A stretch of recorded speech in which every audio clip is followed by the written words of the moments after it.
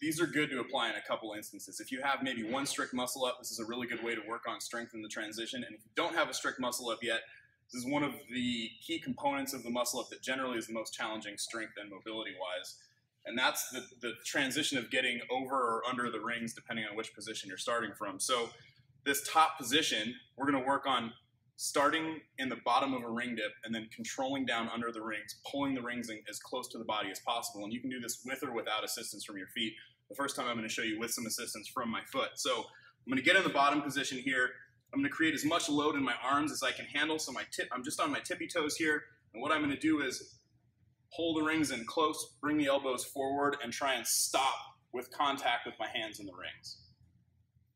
Now you can work just the negative component of that Another step would be to add in here, come down, control, stop, keeping that contact with your foot, and then using just enough help to try and get yourself back over the rings, creating as much load as you can in your arms.